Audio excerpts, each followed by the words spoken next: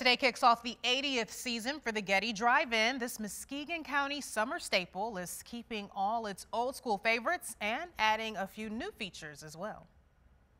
Hey, we're here at the Getty Drive-In in Muskegon ahead of opening day. We're joined by Emily Lokes to tell us all about what's in store for this season and also to give us a little background on just how long people have been enjoying drive-in movie theaters. Emily, tell us about it. Oh, drive-in theaters have been around for close to 80 years. This is one of the oldest in the country. It was opened in 1944 and during the 50s it hit its heyday where there was close to 4,000 drive-in theaters in operation. Wow. And right now. There's nine left in Michigan. The Getty is one of them. We think it's the coolest. Wow. So tell us about some of the new movies that people can expect to see this season. Sure. A lot of folks come for family movies and experiences, and we have that this upcoming weekend, even with Super Mario Brothers and Dungeons and Dragons.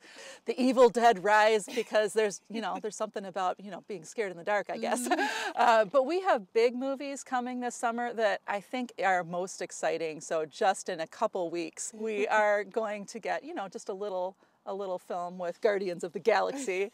and that starts to bring on summer movies like Spider-Man and Indiana Jones, a new uh, Mission Impossible right. film, the and Barbie. Barbie movie, right. that's a big one for sure. You talked about something really cool, Emily, with an update to concessions this mm. season that viewers will get to experience. That is coming soon. So by Memorial Day weekend, uh, you will not only be able to go to our fabulous old school concession stand, but you can also go online and deliver, uh, order concessions to be delivered directly to the post right by your car. And so you, you can, you know, hunker down and enjoy your hammocks. I know people will love that delivery right to their car. So that's just really yeah. one of the ways things have changed. You talk about, we used to see the speakers outside of the cars that you could listen to the movies from. Now that's transmitted mm-hmm. through your radio. You talked about the digital aspect of the movies, how that's changed and making mm-hmm. it easier for people to see on the big screens outside. Right. There are some things that are important to update, and there are some things that where we just try to keep the magic and keep it uh, just in the same way that it was.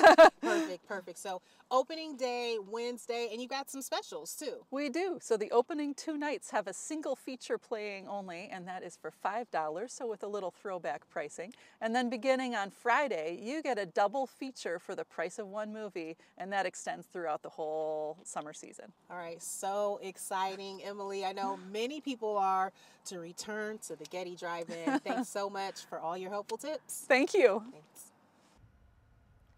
It's been too long since I've been to the drive-in. I've got to get back. And you can buy your tickets right now on the Celebration Cinema website. We'll also have more information on our website, 13onyourside.com.